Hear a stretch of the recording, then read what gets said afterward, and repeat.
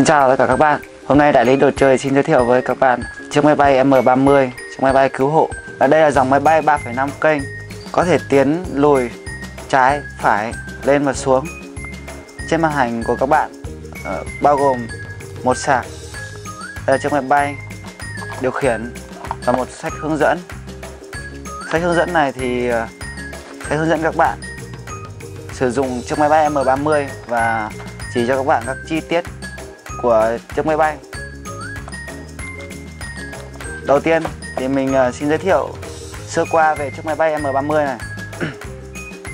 Đây là dòng máy bay 3,5 kênh và nó có hai tầng cánh. Trên hình ảnh của các bạn đây là chiếc máy bay. Thì máy bay này thì gồm ờ, các bộ phận như sau. Đây là chiếc cái gyro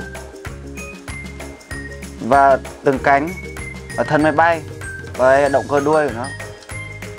Khác với cái dòng trực thăng kia thì máy bay này thiết kế gồm có 3 chân.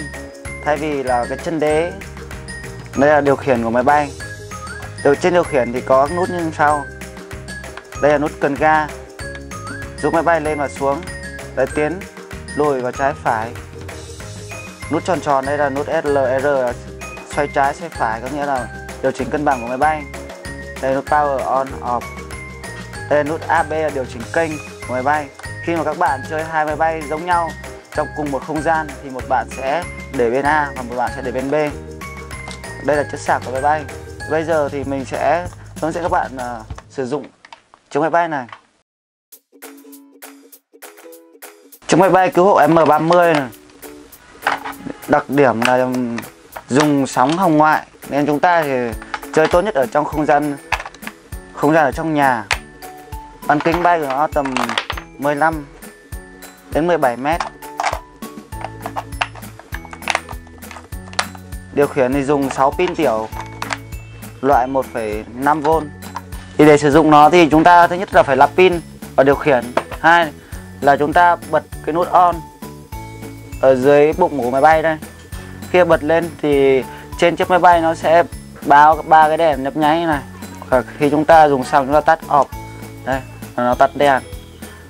Lưu ý là các bạn không nên chơi ờ, cạn pin quá.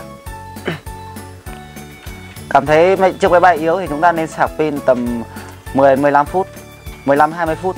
Các bạn bật điều khiển lên thì khi mà chưa nhận tín hiệu thì ờ, chiếc điều khiển nó sẽ nhấp nháy như này. Chúng ta gạt lên một lần tay ga thì nó dừng cái đèn xanh này. Có nghĩa bây giờ chúng ta đã có thể sử dụng chiếc máy bay được. Khi chơi thì ờ, bạn lưu ý để chiếc máy bay thật là cân bằng, không để nó nghiêng lệch. Mình khởi động thử các bạn. Đó.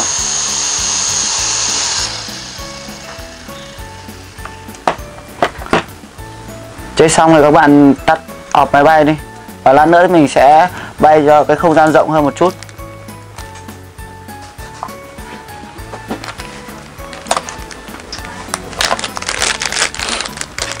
Khi mình chơi trước khi sạc ấy thì chúng ta sẽ tắt máy bay.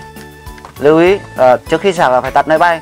Và nguồn sạc thì tốt nhất là nguồn của laptop. Hoặc bạn có thể cắm cục sạc này qua nguồn uh, củ sạc của điện thoại.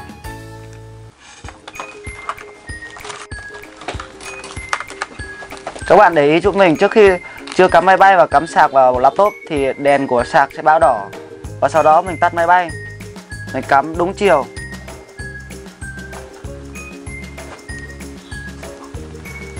Đó. khi mà cắm máy bay vào thì ờ, đèn của sạc sẽ tắt. Và tầm 15 đến 20 phút thì ờ, pin của máy bay đầy và đèn sạc sẽ báo đỏ. Báo đỏ như này.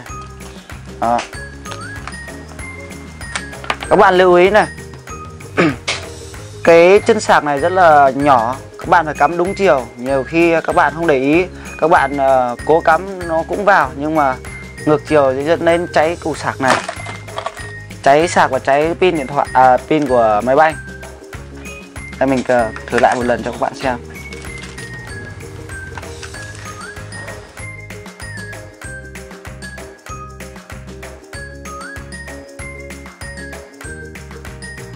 Còn đây là chiếc đuôi sơ cua của máy bay. Vừa rồi thì mình ờ, cũng giới thiệu ờ, đã giới thiệu qua về sản phẩm máy bay M30 của bên đại lý đồ chơi. Thì Bây giờ mình cùng các bạn sẽ ra ngoài không gian rộng để bay chiếc máy bay này.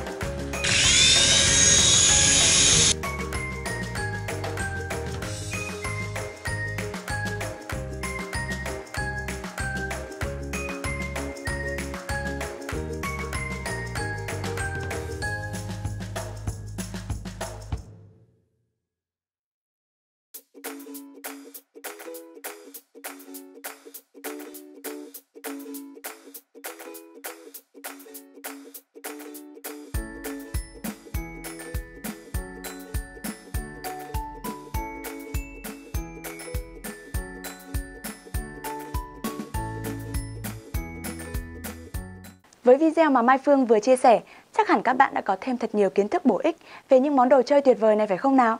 Và đặc biệt, các em bé sẽ vô cùng thích thú khi nhận được những món quà này đấy. Nếu như thấy video vừa rồi hấp dẫn, các bạn hãy share cho bạn bè của mình cùng xem. Và đặc biệt, đừng quên đăng ký kênh bằng cách ấn nút đăng ký ở phía dưới. Xin chào và hẹn gặp lại các bạn trong các chương trình lần sau.